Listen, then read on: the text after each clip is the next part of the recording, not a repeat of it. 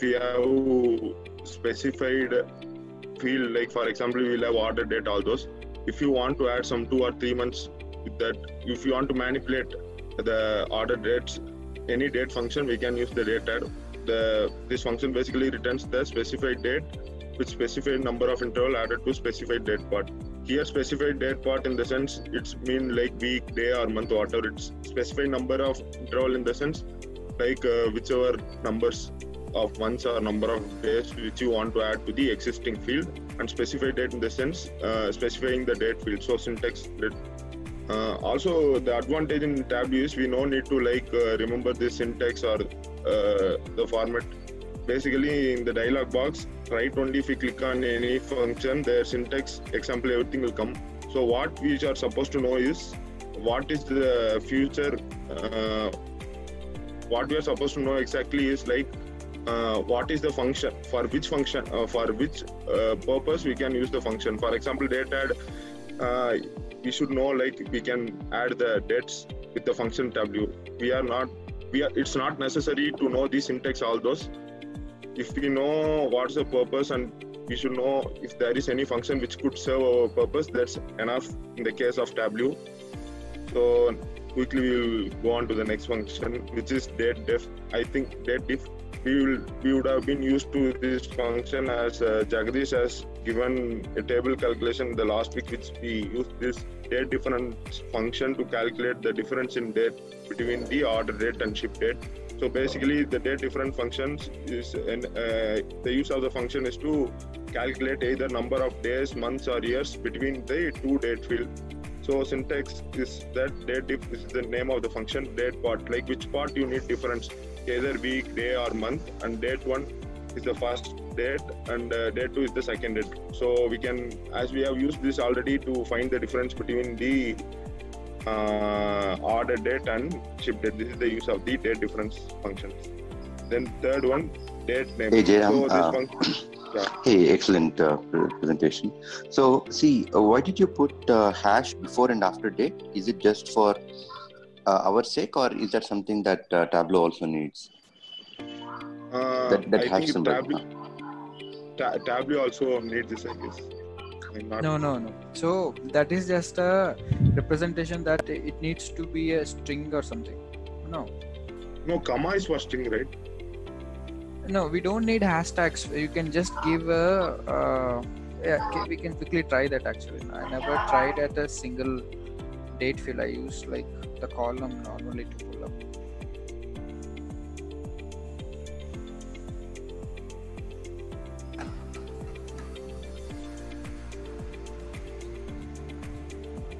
No, no, no.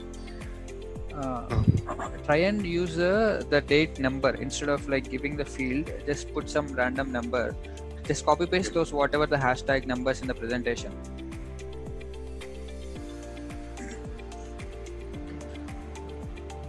Or else the formula that is given in the example, just copy that and uh, in the tableau on the right side. Yeah. I think we can't copy down and write, so I'll go Okay. with the presentation. Uh, uh, just remove that equal to.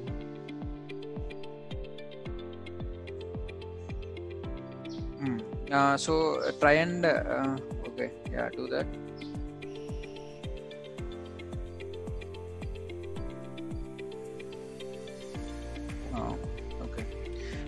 Yeah, so s- turns out that when we use a single date value, then we have to give uh, hash. Yeah, Yeah, okay. So if it is, uh, yeah, okay. But if we uh, use a field, then we don't have to, right? don't so, have you know, basically, yeah. we are using the hash to define it as data. If you don't use the hash, it's like considered to be string. That's the error it. Okay, got it. To ensure it's in date, we have to use the hash before and after, or else it will be taken as string. Yeah. Uh, what does the Monday do there?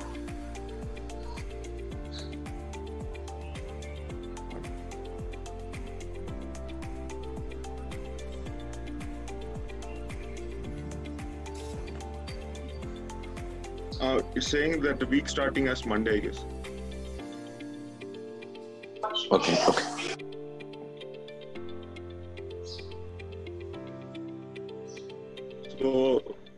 Function is date name. This function returns the date part of the date in the string form. If you want like uh, in string format uh, about the outcome, then we can use the date name. It also says about whether the month or year, like whichever we want. If we want the output as string, then we can use date name, and uh, syntax is as date name, date part, date part. In the sense we want either month or uh, date or week, all those. And date is the field which we have, which which is the in, uh, input field like order date, ship date, and the start of the week we can define as we have defined like start of the week as monday here it's not like necessary that you have to define if you want we can define or otherwise by default it will take the day starting as mentioned the date field Yeah. Okay. Got. It. So I think the date diff is uh, on. Uh, I mean, the start of the week is necessary only when um, we have a. Um, we are doing in weeks number one. Hmm. and number two is if it is non-monday then i think it would be required Yeah. think, correct Correct. so you know if our yeah. So because if it is a regular day um sorry if, if it is non-weeks then start of the weeks obviously has no issue.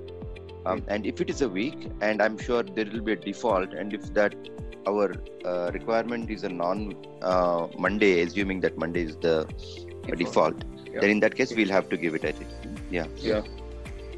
Also, as Chaitanya asked, I would, would like to add one more point.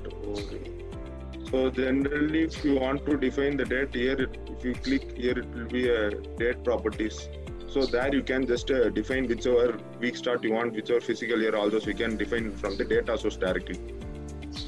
okay excellent perfect So here in the data source, wherever, if you right click, if we go to date properties, we can you will get this window.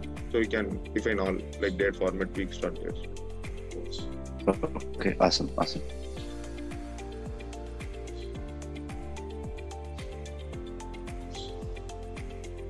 So next uh, date part, this function uh, returns the date part uh, of the date in integer form. Either, uh, earlier we saw a function date name. Actually, it returns the function like month or date or day, whichever in string. But here in this function, it returns in integer part. As you can see earlier, it was like month. In date name, it was December, and in date part, it's showing 12, which is an integer. This is the difference between the date name and date part function. Next, the date trunc function. This function basically truncate from the specified date to the accuracy of specified by the date part. So basically, uh, what it does is date trunc, date part is either month. So basic, uh, okay, date trunc. What it does is like date trunc month and date you have given. It truncates to the field which you have earliest field which, uh, which you have specified. Here you want to truncate based on month. So 17 December is truncated as 1st December. If you give by week starting, then like the 17, 12, whichever is in the week, the starting of week will be truncated and it will specify this. So basically, like if you want to find the earliest of the date part, then we can use the date trunc function so that we will get back to the date which is the earliest of the date part whichever you have mentioned. So day uh, sometimes by default if we pull the date and put in the um, uh, either rows or column we will get here. In order to avoid if you want if you are so particular about the day then you can use the function day. So that day within brackets you can mention the function whichever you want like order date or ship date. So directly it comes day rather than the year which is shown in default in w. Next is date is date function as we have date name function which returns the date as string here we have a similar function which is reverse is date so is date function what it does is uh, sometimes uh, in data source which we are we get from our client even McClatchy what the date will be in string format. So in this case if you want to use convert it as uh, to date we can use the function string so basically if the string is of what a perfect date then it will return true or either it will return false. So this is the use of this isDate function to convert string into to check whether the given string is a valid date, valid date or not. Then make date. So this function what it does is we it will make if we have separate function like physical year, physical month, physical week, all those we can use all the fields which are is um, individual. By using that we can get the exact date. This is the function make date and also the order in which you want if you define year month day it will get like in the format whichever we want December 17, 20. So basically, this function is used to make the date from the fields such as year, month, day, all this. So make date time. Uh, similar to make date, if you want to add time also with the date, then we can use this function make date time. So date and time both will be visible in the field whichever you wanted to make. So make time. Similarly, make date, make date time. One more function make time is there where if you mention the hour, minute, second, three uh, separate fields, and if you put that this function, we will get a, a single field which has both, which has all hour, minute, and second. So month function, this function returns the month of the given date in integer form. Not only month, we also have functions such as year, week, day, which all returns directly the field whichever we want. As we mentioned, uh, either it's month or year, or it's the day or even week. Now, the, this now function will return the current date and time. Mostly, this function now and one more function is that today we use both of this function for finding the relative days. Basically, like sometimes a client says we have to show only the data of particular week in a overview tab. Then in that case, what you can use is like we can compare that as it needs to be dynamic. So we can use the fields such as now and today. Uh, so what it does is so we can uh, write a calculated week of particular term is equal to week of today then show so and so fields so only the fields which is for the current week or the current month will be visible in the particular tab. Wherever you want to filter then we can use that. So it will be dynamic. You don't need to go and change every time like a current week current date. If we write the uh, dynamic fields such as now or today then in that case we will be able to serve the purpose so these are the broadly uh, functions from the date. Now we will switch on to the string functions, which is the second category. ASCII. This ASCII string functions is basically returns the ASCII value of the string. So ASCII of string, ASCII of Alabama. Actually, Alabama, it's not Alabama, it's only the A, whichever uh, is uh, ASCII value of A is 65 and char function char function is the other reverse of the ASCII function. So if you give the particular integer value whatever based on the ASCII code it will display the character based on the ASCII code. And contain strings this is used basically usually we use to filter the substring from the main string. For example here you can see interworks works. Here the main string is interworks and substring is works so if the substring is found in the main string, then it will be returning the true value or either or otherwise it will return the false. So basically in this, if we want to find the substring in the string, we can use the function contains. So it will return either true if it is there and false if it is not there. Uh, Jairam, so that contains function, is it uh, case sensitive? Like uh, if, yeah, I guess. Oh, okay. Yeah, it's case sensitive.